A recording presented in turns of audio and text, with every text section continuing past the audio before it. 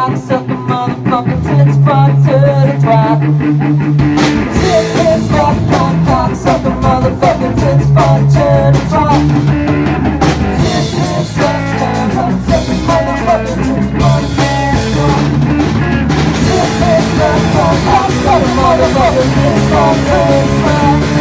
I it all.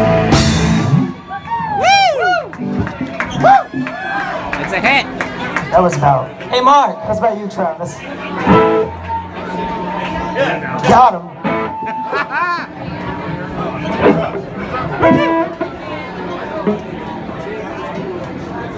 Adam song. Alright, who's your more for that song? Let me do my guitar. So thanks to Dan Lord, wherever he ended up, for letting us borrow his snare drum.